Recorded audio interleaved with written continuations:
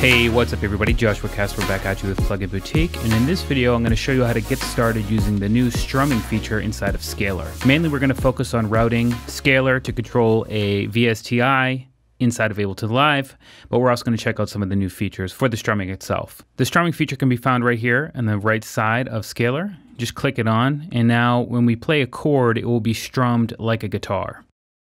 So we also have some new guitar sounds inside of Scaler itself. We've got an electric, harmonic, and acoustic. So if I go ahead and switch that up, let's come into some of the new progressions. So you can see rock down here is probably a good place to start. And now if I go ahead and click this, you'll see that it's strummed. It's strummed up from D to A to D very slowly. Now we can change the strumming speed right over here, slow, medium, and fast.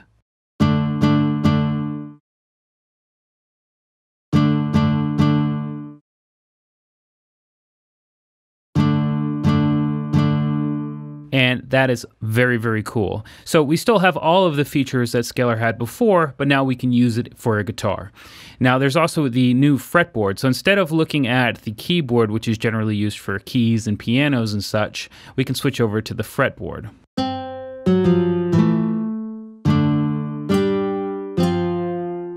So if you're used to guitars, this might be a better view for you. Now, as I said before, this is very, very useful when you have a nice guitar VSTI outside of Scaler. So right now I'm going to show you how to get the routing done inside of Ableton Live.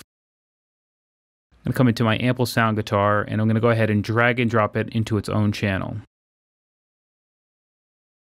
If you drop down the menu here,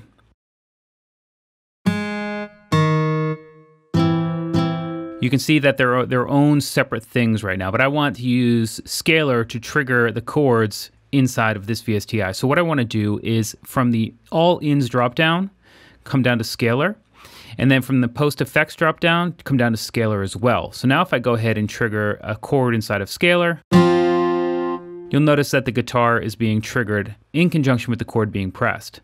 So we want to come up and actually disengage the audio for the channel on Scaler so we don't hear that audio from Scaler itself.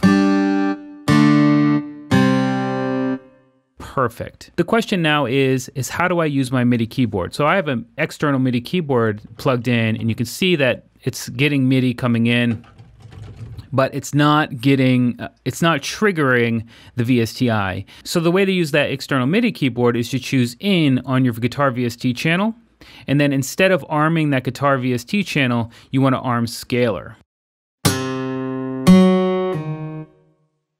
So if I come back in and we go ahead and bind the MIDI for these chords down here,